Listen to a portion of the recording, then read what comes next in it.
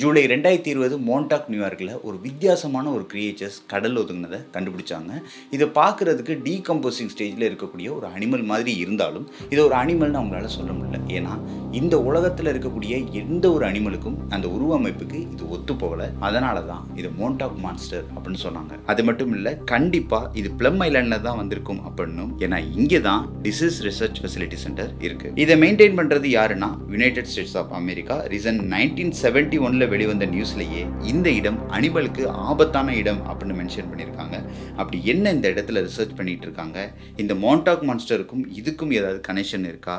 இது எல்லாத்தையும் ஃபுல்லாக டீட்டெயிலாக பார்க்க போகிறோம் வீடியோக்குள்ளே போகிறதுக்கு முன்னால் போன வார வீடியோட பெஸ்ட் கமெண்ட் யார் அப்படிங்கிறதை பார்த்துருவோம். பரத்குமார் அப்படிங்கிற ஒரு ப்ரோ உங்கள் வீடியோவிலேருந்து நிறையா கற்றுக்குறேன் பாரிஸ் கேட்டகம்ஸ் பற்றி பேசுங்க. காலேஜ் ப்ராஜெக்ட்டுக்கு ஹெல்ப்பாக இருக்கும் அப்படிங்கிற மாதிரி மென்ஷன் பண்ணியிருக்கார். லாஸ்ட் வீடியோலேயே இந்த கமெண்ட்ஸை நான் சொல்லியிருக்கணும். நான் தான் மிஸ் பண்ணிட்டேன். Please go and check out. Welcome and welcome back to.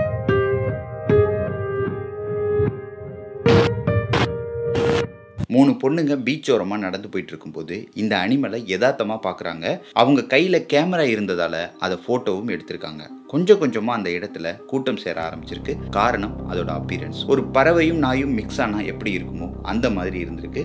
அதோட காலை பார்த்தீங்கன்னா விரல்கள் நீண்ட மாதிரி இருந்திருக்கு. இந்த மாதிரி எந்த விலங்குகளுக்கும் இருக்காது. அது மட்டும் இல்லை அதோட கையில் கட்டப்பட்ட ஒரு பேன் இதை பார்க்கும்போது இந்த விலங்கை ஒரு ஹியூமன் ஹேண்டில் பண்ணியிருக்கலாம் அப்படின்னு மட்டும் அக்யூரேட்டாக சொல்ல முடியும். மோண்டாக் ப்ராஜெக்ட் பற்றி எவ்வளோ பேருக்கு தெரியும் அப்படிங்கிறது தெரியல. நான் எனக்கு தெரிஞ்ச விஷயத்தை அதாவது இதுவரை எக்ஸ்ப்ளோர் பண்ண விஷயம் எல்லாத்தையும் சொல்கிறேன் இதுவரை நான் எடுத்த டாப்பிக்லேயே ஒரு யூனிக்கான டாபிக் அப்படின்னு சொல்லலாம். ஏன்னா ஒரு டாபிக் நம்ம எடுத்து நம்ம அனலைஸ் பண்ணுறோம்னா அது ஒரு கோர் வரை நம்மளால் அனலைஸ் பண்ண முடியும். ஆனால் இந்த டாபிக் அப்படி பண்ண முடியல. ஏன்னா அவ்வளோ ஒரு காம்ப்ளிகேட்டட் ஆயிரத்தி தொள்ளாயிரத்தி நாற்பத்தி மூணு யூஎஸ்எஸ் எல்ரிஜில் சிலர் மயக்கமாக்கப்பட்டு ஃபிலதெல்பியாவிலேருந்து வெர்ஜீனியாவுக்கு டெலிபோர்ட் பண்ணாங்க. இதுக்கு ஃபிலடெல்பியா எக்ஸ்பெரிமெண்ட் அப்படின்னு பேரும் வச்சாங்க.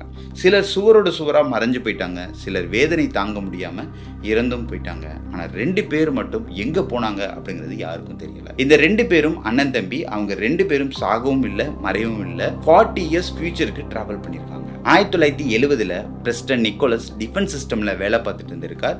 இதில் டெலிபதியை பற்றி ரிசர்ச்சும் பண்ணிட்டு இருக்கார் அதில் அவர் கண்டுபிடிச்சது டெலிபதி கிட்டத்தட்ட ரேடியோ வேவ் மாதிரி தான் அதை அவர் எப்படி சொல்கிறாருன்னா அவர் ரிசர்ச் பண்ணிட்டு இருக்கும்போது அவர் ஆராய்ச்சி பண்ணிக்கிட்டு இருந்த அந்த நபரோட மைண்ட் அந்த ஒரு குறிப்பிட்ட நேரத்தில் அந்த ஒவ்வொரு நாளும் அந்த குறிப்பிட்ட நேரத்தில் மட்டும் பிளாக் அவுட் ஆயிருக்கு.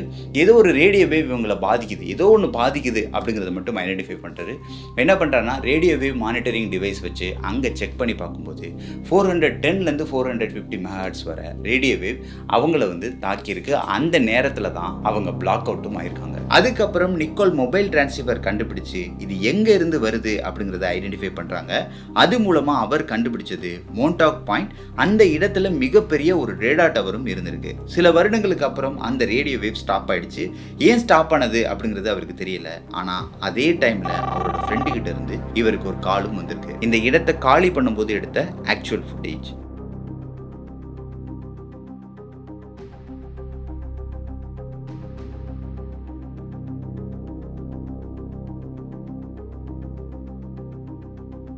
நிக்கோலஸ் இந்த இடத்துக்கு போகும்போது யாருமே அங்கே இல்லை. ஒரே ஒரு ஹோம்லெஸ் பர்சன் மட்டும் அங்கே இருந்தாப்புல.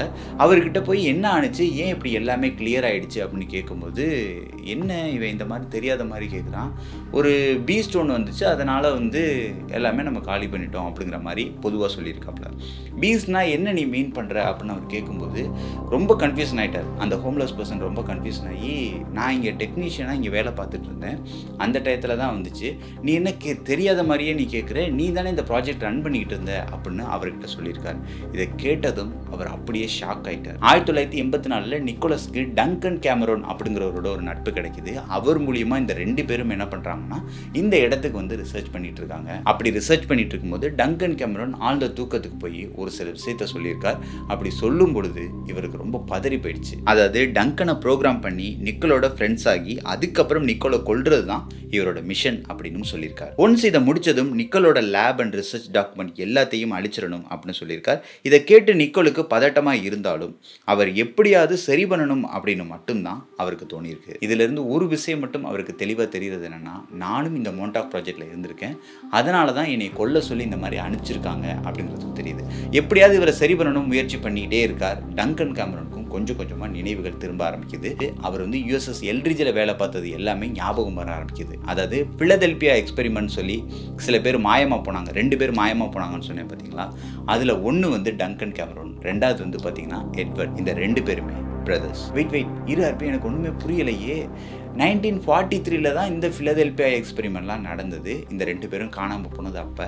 அப்படி இருக்கும்போது எப்படி நைன்டீன் எயிட்டி ஃபோரில் அப்படின்ற மாதிரி ஒரு கொஷின் வரும். எஸ் எக்ஸாக்ட்லி நீங்கள் நினைக்கிறது கரெக்ட் ஃபார்ட்டி இயர்ஸ் ஃபியூச்சருக்கு ட்ராவல் பண்ணி நைன்டீன் எயிட்டி த்ரீக்கு டங்கன் கேமரோன் வந்திருக்கார் அப்படின்றது தான் பிரஸ்டன் நிக்கோல் ஒர்க் பண்ணிட்டு இருக்கும்போது அவருக்கு ஒரு இமெயில் வருது. அதில் அவரோட நேமையும் ஆட் பண்ணியிருக்காங்க. அவர் அந்த கம்பெனியில் வேலை பார்க்குற மாதிரியும் அவருக்கு ஒரு பொசிஷன் இருக்கிற மாதிரியும் அதில் இருந்திருக்கு. நான் இந்த மாதிரி எந்த கம்பெனிலையும் ஜாப் கூட அப்ளை பண்ணலையே. அப்படி இருக்கும்போது எப்படி இது சாத்தியம் அப்படின்னு அவருக்கு தோண ஆரம்பிச்சிருக்கு. அப்படியே கீழே அவரோட கையை பார்க்குறார். அவரோட கையில் காயத்தோட ஒரு பேண்டேட் இருந்திருக்கு. இது ஒரு தடவை மட்டும் நடக்கல. பல முறை இந்த மாதிரி நடந்திருக்கு. அதாவது ஒரு ஃபிஃப்டீன் மினிட்ஸ்க்கு முன்னாடி நல்லா இருந்திருப்பார். ஆனால் அதுக்கப்புறம் திடீர்னு காயமாயிருக்கும். இதே மாதிரி பல தடவை நடந்திருக்கு. இது அவர் அவருக்கு ஒரு குழப்பமாகவே இருந்திருக்கு. ஆனால் இது மூலிமா அவருக்கு ஒரே ஒரு விஷயம் மட்டும் தோண ஆரம்பிச்சிருக்கு. நம்ம ரெண்டு லைஃப் டிஃப்ரெண்டான லைஃப் வாழ்கிறோம் அப்படிங்கிறது மட்டும் ஐடென்டிஃபை பண்ணியிருக்காரு கிட்டத்தட்ட அன்னியன் மாதிரி. ஒரு நாள் இவரோட ஆள் மனசில் ஒரு விஷயம் சொல்ல ஆரம்பிக்குது. நீ பேஸ்மெண்ட்டுக்கு போய் செக் பண்ணி பாரு அப்படின்னு அது தூண்டவும் செய்யுது. சிம்பிளாக சொல்லணும்னா ஒரு விஷயத்தை நம்ம திரும்ப திரும்ப செய்யும்போது ஆள் மனசுக்குள்ளே இது பதிய ஆரம்பிச்சிடும்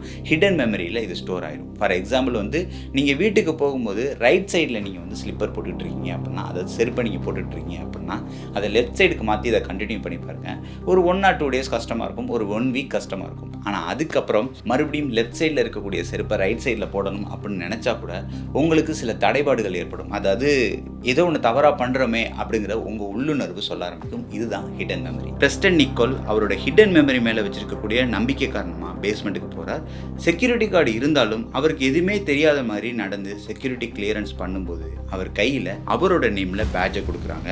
அப்படியே அவர் நடந்து போகும்போது அவரோட உணர்வு ரொம்ப பழக்கமான லைஃப் மாதிரி தோண ஆரம்பிச்சிருக்கு. கொஞ்சம் தூரம் நடந்து போகும்போது அங்கே ஒரு டெஸ்கில் Preston Nichol assistant project director அப்படின்னு போட்டிருந்துருக்கு. அதாவது பிரஸ்டன் நிக்கோல் இன்ஜினியராகவும் வேலை பார்த்துருக்கார். அதே சமயத்தில் ஒரு சீனியர் பொசிஷன்லையும் வேலை பார்த்துருக்கார். அப்போ தான் அவர் புரிய ஆரம்பிக்குது. எனக்கு ரெண்டு டிஃப்ரெண்டான லைஃப் இருக்குது அப்படின்னு. என்ஆர்பி சொல்கிற ரொம்ப குழப்பமாக இருக்கே இவர் இந்த ரெண்டு பொசிஷனில் என்ன பண்ணுறார் இந்த சீனியர் பொசிஷனில் அவர் என்ன பண்ணுறார் எதுக்கு இவருக்கு இந்த ரெண்டு டிஃப்ரெண்டான லைஃப் இவர் யார் கண்ட்ரோல் பண்ணுறாங்க இப்படிங்கிற பல கொஸ்டின்ஸ் இருக்கும். இதுக்கு மேலேயும் சில கொஸ்டின்ஸ் இருக்கும். இது எல்லாத்துக்கும் ஒரு கண்டினியூட்டி இருக்குது நீங்கள் நினச்சி பார்க்க முடியாத அளவுக்கு நிறைய மிஸ்ட்ரிஸ் இந்த மோண்ட் ஆஃப் ப்ராஜெக்ட்டில் இருக்குது so see on next Friday at six PM with more detail so subscribe பண்ணிட்டு பக்கத்தில் இருக்க பெல் ஐக்கானை ப்ரெஸ் பண்ணி நோட்டிஃபிகேஷன் ஆளில் போட்டுருங்க. அப்போ தான் நெக்ஸ்ட் வீடியோ நீங்கள் மிஸ் பண்ணாமல் பார்க்கலாம். See on next Friday at six PM stay